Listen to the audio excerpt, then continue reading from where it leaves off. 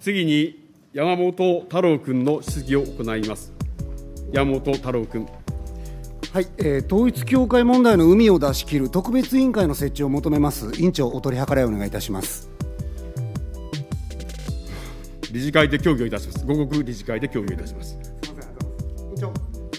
はい、山本太郎さん。総理、政治家を志した理由、お聞かせいただけますか？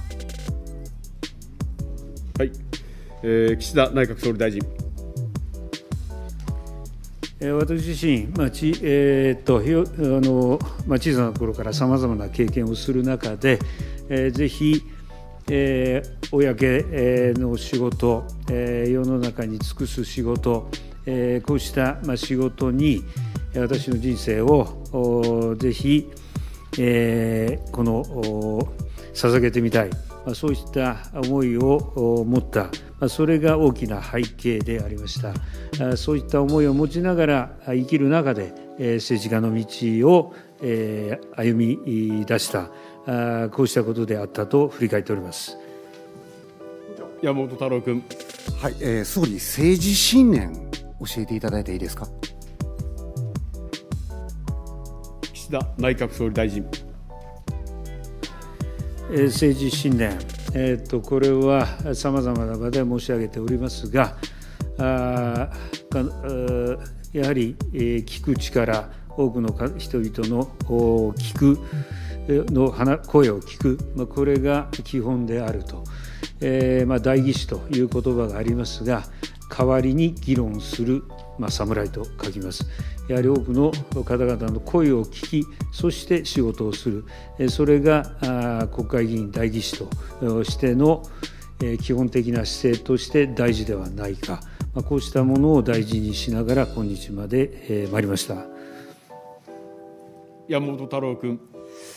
総理、総理というお仕事、激務ですか？激務ですか？岸田内閣総理大臣。はい、あまああのまあ私自身、まあ、じ力が微力であるせいかもしれませんが、実際やってみまして、えー精神的にも体力的にも激務であるとは感じております。山本太郎君。はい、総理はご子息、ご子息とも一緒にお仕事されてると思うんですけれども、どんなお仕事されてますか、ご子息は。岸田内閣総理大臣。はい、あの、えー私の長男は、あーえーっと、まあ、以前から、えー私のお公設秘書を務めておりました。あそして先日から、あーえー総理大臣秘書官の一人として仕事をしております。山本太郎君。えっと、上司の目から見て、仕事ぶりはどうですか、息子さんの。岸田内閣総理大臣。えーそあの仕事の、ま、成果ということにつきましては、それぞれ、ま、人間でありますので、えー十分でない部分も多くあると思いますが、何よりも仕事をする上においては、その姿勢、心がけが大事だと思います。えー自分の持っている力を最大限発揮するよう努力をする、まあ、そういった姿勢を、えー持ってもらうことが大事だと思っておりますし、えーそういった姿勢は現在のところしっかり持って仕事をしていると感じております。山本太郎君。できる方だという噂も聞いております。え激務の中で、総理が。ご子息の顔を見たときに、ほっとする瞬間、そういうこともありましたか、今まで。岸田内閣総理大臣。えーもちろん仕事をしている間は、おそれぞれ公の立場でありますので、仕事に専念しなければなりません。まあ、しかし、えー肉親でありますので、えーほっとする瞬間もある、それはおっしゃる通りだと思います。山本太郎君。言いたいことは何かというと、ご自身の娘、息子のように、この国に生きる人たちをおもんばかっていただきたい。そう考えていただきたいんですね。今みんなむちゃくちゃ困ってます。どうか一律の10万円給付、これをご検討いただけないですか？いかがですか？岸田内閣総理大臣。はい、あの今、本当に厳しい、えー経済状況等の中で、多くの国民の皆さんが苦しんでいる、悩んでいる、えそして、え大変な努力を続けておられるということ、えこうしたことに対して、ま政治の立場から、え思いを巡らし、そして、寄り添うということは大事だと思います。そのために政治として何をしなければならないのか、やはり具体的に結果を出さなければなりません。そして多くの国民の皆さん、全体の皆さんの幸せをできるだけ多くするために、どういった政策を用意しなければいけないのか、我々はそれを考えなければなりません。委員ご指摘のように、この現金給付、これも大切な政策だと思います。だからこそ、政府においても、今年に入ってから、この累次にわたって経済対策を行う中で、特に困っておられる方々に対して5万円の給付、こうした給付、現金給付、何度か用意をした、こうしたことであります。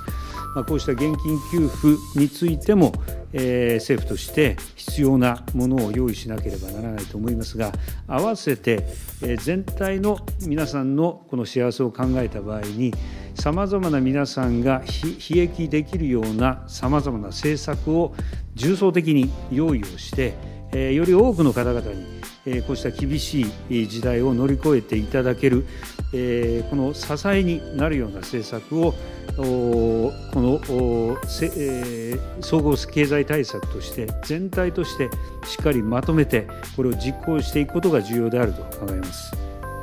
山本太郎君時間前はい、最後に一律10万円給付も検討の中に入れてくださいませんか？検討です。時間が余っておりますので簡潔にお願いします。総理大臣岸田幸夫君。あの決して未来を否定しているものではありません。その状況に的確に対応するためにどんな政策のメニューが必要なのか、これを絶えず考えていきたいと存じます。その中で現金給付というメニューも状況に応じて考えていく、まあ、こうしたことはああり得ると思っています。山本検討するのはただです。ぜひ一律の10万円給付、よろしくお願いいたします。検討してください。ありがとうございました。以上で山本太郎君の質疑は終了いたしました山本太郎君。令和新選組代表山本太郎です。会派を代表し本,、えー、本法案に対して反対の立場から討論します。